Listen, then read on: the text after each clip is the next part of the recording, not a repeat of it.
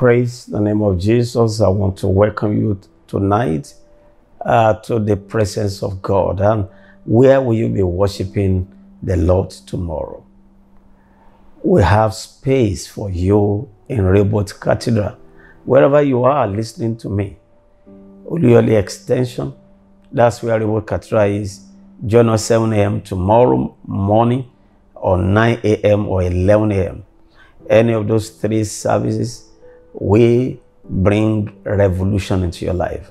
And I'm looking forward to receiving you and to be a blessing to you. Don't stay at home tomorrow, come to church. Now we are looking at keys. Keys to business exploit. And tonight we're looking at the key of morality. Once you allow immorality, that becomes a, a, a pipe to your capital to the finances of your company.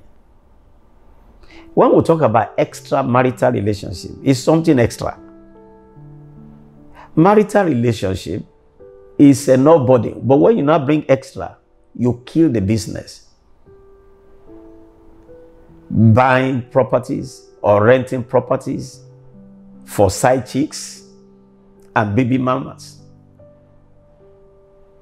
Let me make this clear to you nothing destroy the business of immorality.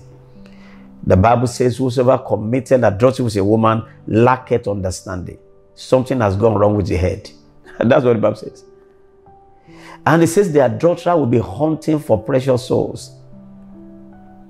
So that the, every precious thing around the precious soul can be removed, can be sucked away. Anyone engaged in office romance will bring down that company. Therefore, keep yourself pure. Morality is a major key to business success and breakthrough. When morality is thrown to the winds, every goes to the wind. In the name of Jesus, the enemy will not bog you down. You keep flying through immorality. You keep flying through morality in the name of Jesus. You won't lose your, your sanity. You remember what happened to Solomon? He lost his sanity. The Bible says he went after strange women. And everything God said he should do, he walked away from it. And God was angry with him. And every precious thing became vanity. He said, vanity upon vanity, all has become vanity because of loss of sanity to immorality. I commend you to God and the word of His grace. As God begin to bless you, may the enemy not enter through immorality and truncate your success, your greatness in the name of Jesus. I commend you to God and the word of His grace. One, I pray that God will perfect all that concerns you in Jesus' mighty name. And God will keep you, He will sustain you.